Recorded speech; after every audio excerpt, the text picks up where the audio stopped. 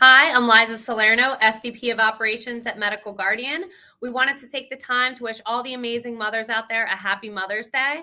Mothers are consistently working tirelessly to provide for their families and are the backbone of our society. You deserve love and recognition today and every day. Happy Mother's Day to all the amazing mothers out there.